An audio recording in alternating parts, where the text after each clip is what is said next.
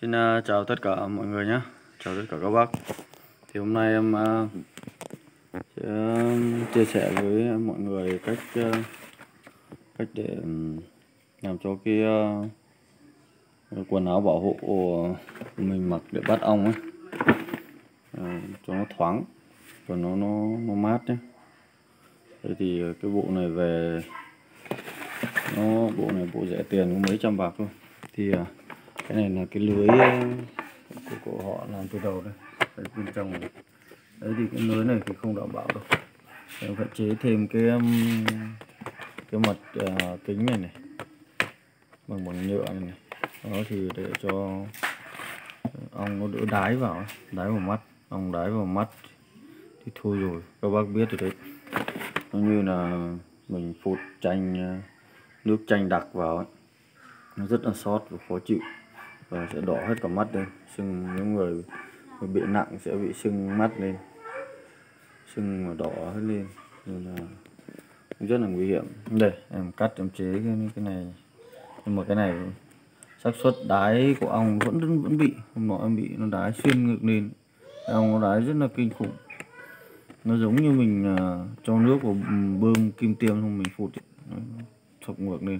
Nếu mình chủ quan là sẽ rất bị hay bị thì ờ, em sẽ thì em sẽ chế cái đoạn này em sẽ bịt kín hết bằng cái tấm ờ, nhựa mica này. Đây, bằng tấm bóng này. Đấy sẽ bịt kín hết không để cái lỗ này nữa mà sẽ chế một cái ờ, ở dưới này để thở. Ừ. đấy sẽ chế một cái dưới này để thở thì sẽ cho cái um, dây chặt vào bên trong để ong nó nó không thể nào mà đây giống như bên này, này không thể là xuyên được vào. Đây ở bên này em chế. Này. đấy để cho những cái dây chạc này vào thì đây khoảng một khu này thôi. Đây để mình thở. Đấy, thì ong nó cũng không đái được vào.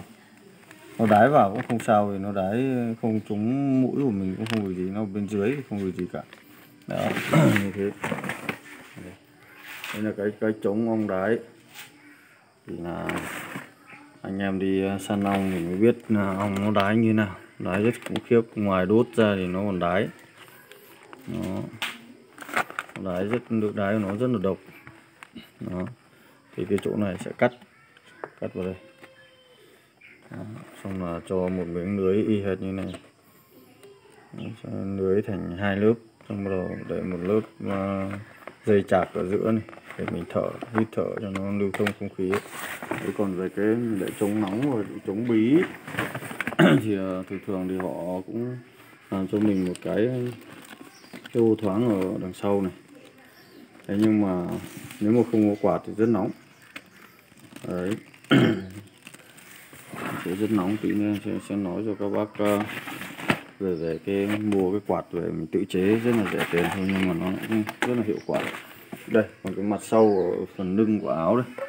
Thì em cũng chế một cái nhằm một cắt ra đây. Đây cái đường chỉ khâu đây đây chỉ của của của họ gia công đấy thì nó rất là chuẩn. Họ may bằng máy mà. Còn cái chỉ mình khô đây thì nó nó, nó không được đẹp. Nó, cơ bản là nó chắc chắn và nó đảm đủ đảm bảo an toàn. Đây đây là tạo một cái ở ngoài sau lưng nha các bác nhé mình tự cắt cắt ra xong gốc cái này xuống. Hoặc là gốc lên trên được. Đấy, xong rồi tạo một cái ở lưng này cho nó thoáng đó, xong rồi ờ, cho vài cái chạc này vào đây để ong nó không tiêm được. Đấy, thì mình sẽ cho một cái quạt gió vào đây nữa thì nó đặt vào đây nữa thì thì nó sẽ phồng lên và ong nó sẽ không tiêm được. Nó không tiêm được mình. Nếu còn không, nếu mà các bác không để không để cái này, cái chạc ở bên trong thì ong nó rất dễ tiêm vào vào lưng của mình ngay nhé. Đấy, và khi mặc áo vào, áo chống ong vào thì thì các bác lên ờ, để cái đằng sau lưng nó thùng thình kéo lên cho nó thùng thình một chút thì cái đằng dưới này vẫn còn rất là dài. Đấy thì mình kéo cho thùng thình một chút thì để ong nó nó có ở đây nó tiêm rồi nó cũng không, không tiêm được vào lưng của mình. Đấy nhớ hai lớp nhé đó. Đó thì đây các bác uh, mua cái loại quạt này có hai ba mươi nghìn một cái thôi. Nó chạy bằng pin đấy. Bằng pin uh, pin pin um, sạc đấy và cái pin đấy thì nó không được uh, được lâu. Đó. chỉ được thời gian đầu thôi. Đấy thì em mới chế cái này. Chế cái này để lắp ừ, đây các bác dùng cái dây này. Dây sạc điện thoại ấy. bỏ đi. À. các bác tách ra xong đấu dây vào. Đấy, đấu dây vào xong bắt đầu dùng cái ừ, cái pin sạc đa năng này. Cắm vào là nó quay thôi. Ở đây hai quạt một quạt uh, các bác bao nhiêu quạt thì tùy nhé. Các bác ờ, thiết kế ở cạnh sườn cũng được càng tốt. Đó thì do mình thôi. Còn cái quạt mà họ bán ờ, cái quạt nó công suất nó mạnh hơn ấy, thì cũng rất đắt ba bốn trăm một một cái. Nó cũng nhỏ nhỏ này thôi nhưng mà công suất của nó nó nó lớn hơn những cái dòng quạt này. Nó thổi mạnh hơn nhưng mà như thế nó cũng đắt. Đấy còn em em chế những cái quạt à, của của trẻ con này. Ờ, nó cũng ờ, thông gió rất là tốt và cũng khá là mát. Đó. đây, em cắm vào cho các bác xem nhé. Nó quay khá là tít. Đây, đang không quay này. Đó. đây. Em cắm vào pin đang 100% pin đây. Cái này nó không tốn quạt quay tít đi. Không tốn ờ, pin mấy đâu. Hết rất là ít hai quạt chạy hàng tiếng đồng hồ nhưng mà còn không hết 10 phần trăm pin. Của cái, cái pin sạc đa năng này. Nó rất là, là, là hết ít điện. Và nó rất mát. Quạt u luôn các bạn. Đấy, các bạn nghe thấy tiếng tiếng nó thổi gió chứ. Bây giờ em sẽ nắp vào trong cho các bác xem nhé. Nắp vào trong này. Đây sẽ một cái ở bên dưới lưng và một cái ở bên trên trên chỗ cổ nhé. Đây, một quạt bên trên đây. Và một quạt bên dưới này nhé các bác nhé.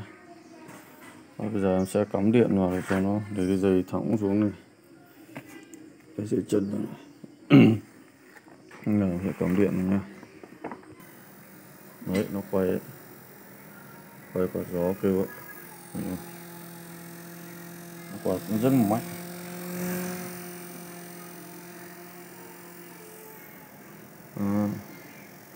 Khi các bác làm các bác ờ, làm thành một cái túi để đút cái này được đây này Đấy. sẽ có hai lớp lớp trong và lớp ngoài Đấy, nó sẽ có một cái túi để mình đựng quạt vào đây Đấy, quạt cũng rất mạnh gió nó đẩy nó hút gió vào nó đẩy vào trong mình vừa là có khí để thở vừa lưu thông bên trong ấy. đấy thì nó vừa mát đó. đó đây bên trong này. Nó quạt ra gió u u ra đây luôn. Ừ. thì bên trong nó kín thì nó sẽ quạt gió, nó lưu thông ở bên trong. Mình sẽ có vừa mát, vừa khí thở nó đảm bảo. Đây ở đây đây. Ra đây. Các bạn nghe quạt này. quạt rất là mạnh, hai cái nó phối gió ra đây nhiều. Đó.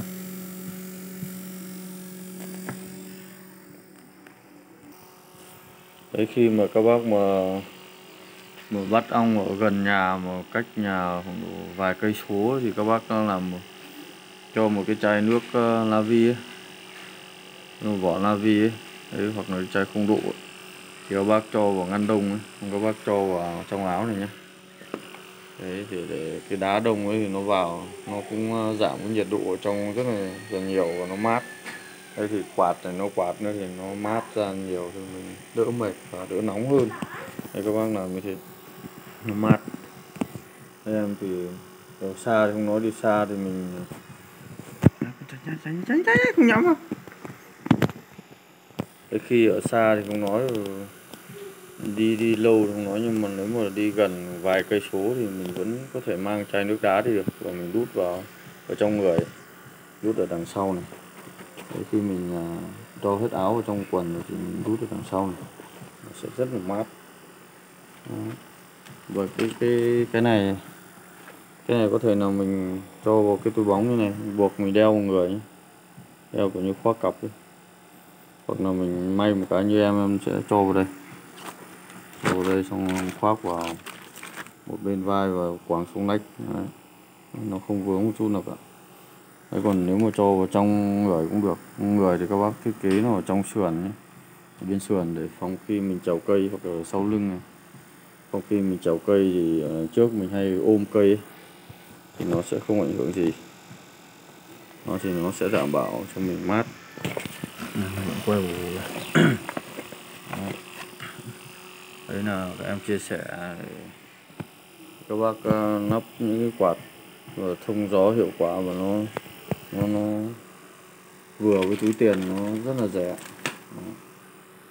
Đấy thì bác nào chưa làm thì có thể áp dụng thử nhé. Những bác nào đã làm rồi thì thôi xem video để, để thể, cho nó giải trí vui vẻ thôi nhé. À, xin cảm ơn à, các bác à, đã theo dõi video. Bác nào chưa đăng ký thì à, bấm đăng ký giúp em với nhé. À, xin chào và hẹn gặp lại các bác ở những video sau But